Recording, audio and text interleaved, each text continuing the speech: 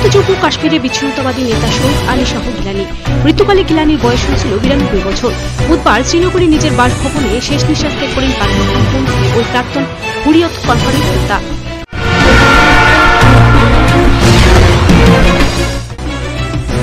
নরেন্দ্র মোদী নেতৃত্বাধীন কেন্দ্রীয় সরকার শীঘ্রই কর্মচারীদের জন্য সুখবর ঘোষণা করতে পারে।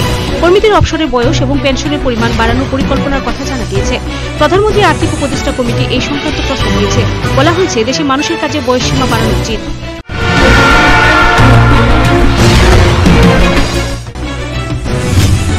প্রয়াত রাজ্যসভার প্রাক্তন সাংসদ প্রবীণ সাংবাদিক চন্দন মিত্র। দিল্লিতে গভীর রাতে তিনি শেষ নিঃশ্বাস ত্যাগ করেছেন বলে জানিয়েছেন তার ছেলে কুষাণ মিত্র। মৃত্যুকালে তার বয়স হয়েছিল পঁয়ষট্টি বছর।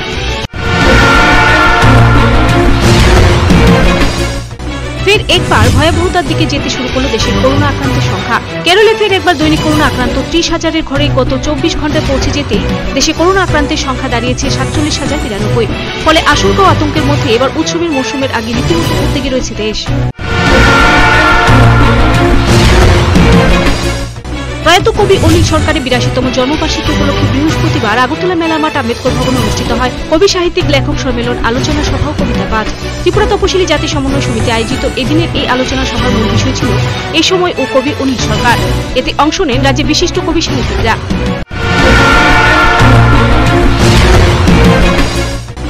সেপ্টেম্বর থেকে গ্যাসের দাম পঁচিশ টাকা বৃদ্ধি পাওয়ায় রাজ্যে গ্যাসের দাম বেড়ে হয়েছে কাউন্টারে এক হাজার ষোলো টাকা পঞ্চাশ পয়সা।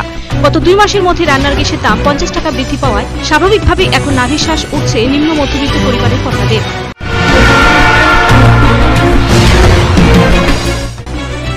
আবহাওয়া অনেকটা পরিবর্তন হওয়ায় প্রায় প্রতি ঘরেই জ্বর, সর্দি, কাশি সহ আরও নানা উপসর্গে আক্রান্ত একটা বৃহৎ অংশের মানুষ। শারীরিক এই উপসর্গ দূর করতে প্রত্যেকে ছুটছেন হাসপাতালগুলিতে। তাই হাসপাতালগুলিতে চিকিৎসা পরিষেবা নিতে আসা রোগীদের ভিড় বাড়ছে।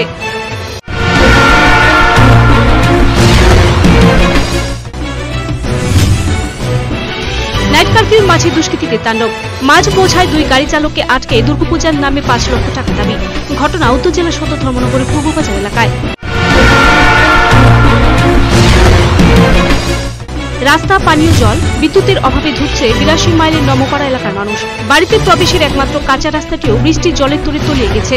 ফলে সমস্যায় পড়েছেন সংশ্লিষ্ট এলাকা প্রায় বেশ কয়েকটি পরিবার। দাবি হচ্ছে এলাকাবাসীর সমস্যা নিরসনে এগিয়ে আসুক প্রশাসন।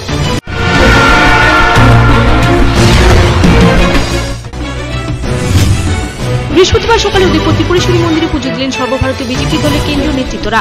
একই সাথে রাজ্যের নতুন অগ্নি নির্বাপক দপ্তরের মন্ত্রী রামপ্রসাদ পাল পুজো দিয়েছেন ত্রিপুরেশ্বরী মন্দিরে।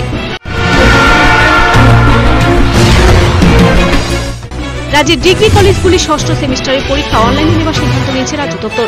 নয় থেকে কুড়ি সেপ্টেম্বরের মধ্যে অনুষ্ঠিত হবে পরীক্ষা। স্নাতকোত্তর স্তরের ছাত্রছাত্রীরাও অনলাইনে পরীক্ষা দাবিতে সরব হয়েছে। যদিও এমবিবি বিদ্যালয়ের ভিসির সাথে তারা সাক্ষাতে ব্যর্থ হয়েছেন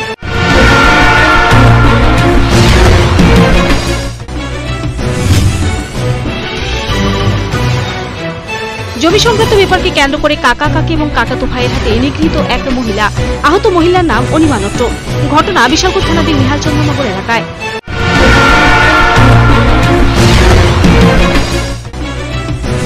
চরিলাম ব্লকের উত্তরমুড়া গ্রামের আব্দুল মতিনের বাড়ি থেকে বুধবার রাতে চরিত্র হানা দিয়ে পাঁচটি গরু নিয়ে যায়।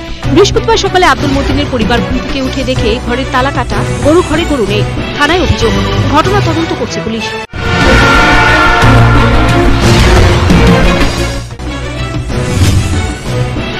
আবারও নৈশকালীন কার্ফিউ অবস্থায় মুদি দোকানে চুরির ঘটনা ঘটল কমলপুর শহরে।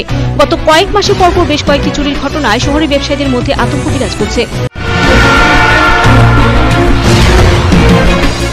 বৃহস্পতিবার সকালে ঊনকোটি জেলার কুমারঘাট সিডিপিও অফিস এবং কুমারঘাট জনস্বাস্থ্য কেন্দ্রের সামনে একটি মৃত সন্তানের ভ্রূণ পাওয়া যায়। স্থানীয় পর্যন্ত মানুষ রাস্তার পাশে এই কন্যা সন্তানের মৃত ভ্রূণটি দেখতে পায়। সঙ্গে সঙ্গে স্থানীয় মানুষজন কুমারঘাট থানায় খবর পাঠায়। খবর পেয়ে কুমারঘাট থানা পুলিশ ঘটনাস্থলে দ্রুত ছুটে এসে মৃত কন্যা সন্তানের ভ্রূণটি কুমারঘাট জনস্বাস্থ্য কেন্দ্রে নিয়ে যায়। বাঙালি শ্রেষ্ঠ উৎসব দুর্গাপূজা প্রায় দোরগোড়ায়। প্রতি বছর এমন সময় থেকেই শুরু হয়ে যায় দুর্গাপূজা প্রস্তুতি প্রতিমা শিল্পীদের মধ্যে চলত প্রতিমা তৈরির ব্যস্ততা। কিন্তু গত বছর থেকে এসব কিছুর ছন্দপতন। সরকারি বিধিনিষেধ মেনে পূজার আয়োজন করতে গিয়ে এবছরও থাকছে না কোনো বিগ বাজেট।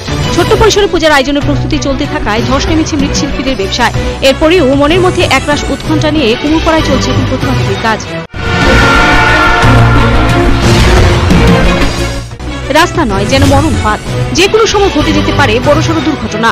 এমনই অবস্থা এখন তেলিয়ামুড়া থেকে অমরপুর যাওয়ার রাস্তায় তেলিয়ামুড়া মহকুমার খাসিয়ামঙ্গল তথা তেলিয়ামুড়া সরকারি মহাবিদ্যালয় সংলগ্ন এলাকা এবং তেলিয়ামুড়া মহকুমা হাসপাতাল সংলগ্ন এলাকায়। চুরি, ছিনতাই, অপহরণ সহ বিভিন্ন অসামাজিক কার্যকলাপ রুখতে এবং শহরকে সুরক্ষিত রাখতে সরবুর নগরী, উদয়পুর শহর ও শহর সংলগ্ন এলাকায় সিসি ক্যামেরা বসানোর দাবিতে বৃহস্পতিবার গোমতী জেলা শাসক এবং গোমতী জেলা পুলিশ সুপারের উদ্দেশ্যে স্মারকলিপি প্রদান করল উদয়পুরের অন্যতম সামাজিক সংস্থা হেল্পিং হ্যান্ড সোসাইটির সদস্যরা।